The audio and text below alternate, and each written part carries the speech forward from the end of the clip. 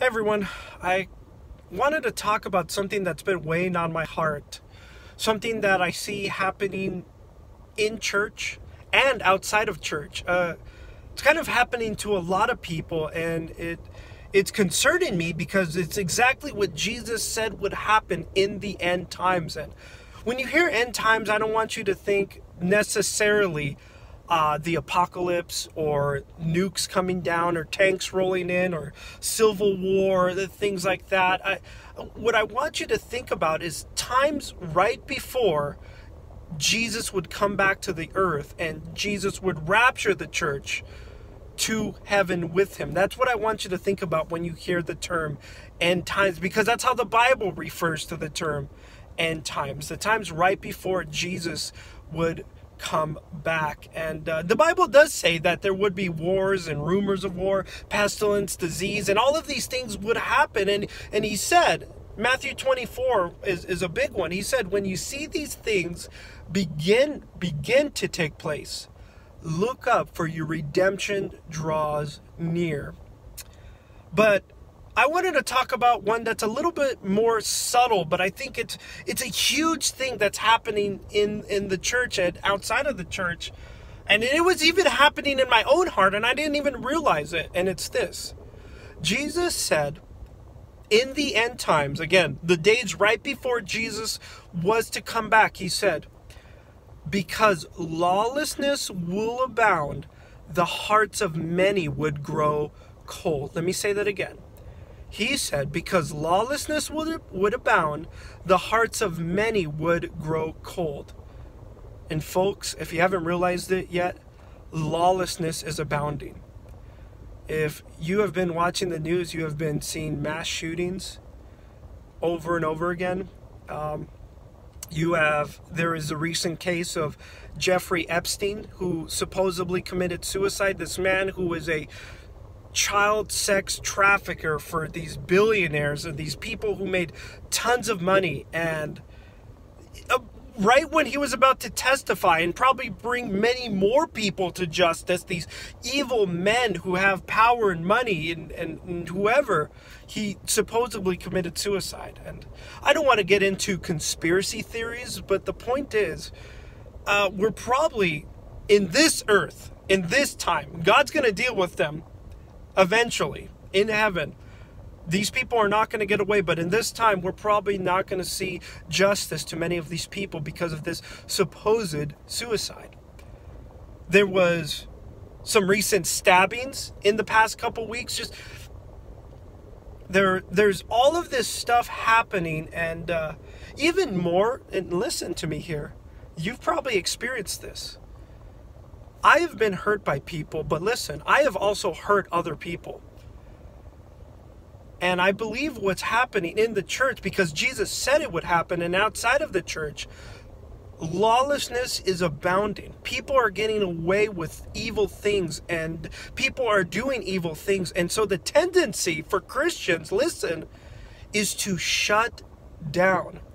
I like what Paul said in 1 Corinthians 13. He said, Look, you can give your body to be burned, you can give to the poor, you can do all of this religious things, but if you do not have love, you become as a clanking cymbal. You become, as the Bible puts it, annoying.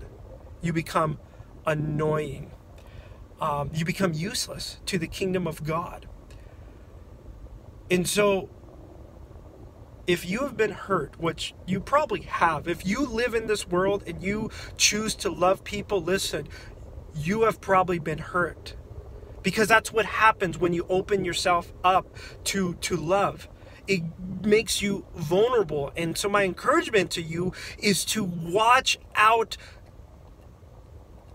for that problem of becoming cold and callous to those around you.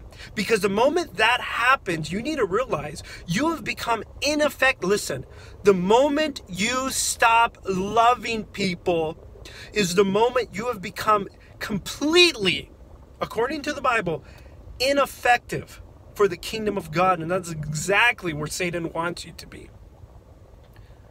We are not to love because people are lovely. Listen, we live in a we live in a pretty rotten world right now. We live in a world of, of callousness, of of of lawlessness. We're not to love because people in the church are lovely. We're not to love because our friends are lovely. I mean, a lot of a lot of times we're, we're not. The Bible says we love because God first loved us. Listen, church, we need to get back to that point of, of love because Jesus Christ is love incarnate. We are to love because God, who is love, not God does love, but God is love incarnate, came to this world, lived a perfect life as God, 100% man, 100% God, lived a perfect life, completed the law so that you and me could go to heaven, and so that anybody who would call on the name of the Lord would be saved. Died a horrific death upon a Roman cross, the worst way to torture people that humans have ever created Roman crucifixion. The Romans didn't invent crucifixion, but they perfected it. Jesus was mocked, he was beaten, he was left alone, he was buried, proven that he was actually dead. And then the Bible says he rose again the third day because he was justified, because he was God. And that proved not only that we are forgiven of our sins if we call out to Christ right now and repent of our sins, but it also proved that God loved us. You're like, how do I know God loved me? The cross, which is historically proven.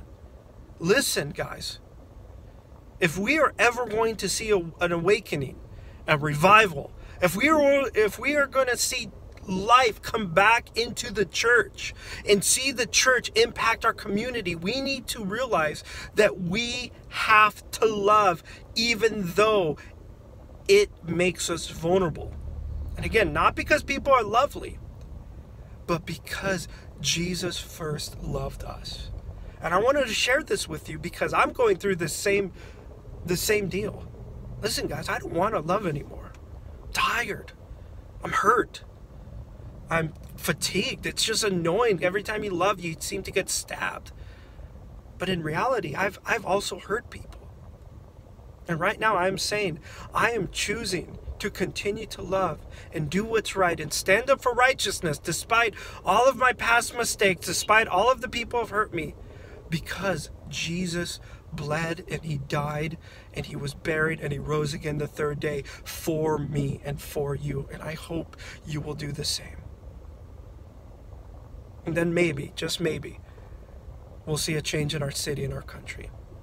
Anyways, thanks for watching.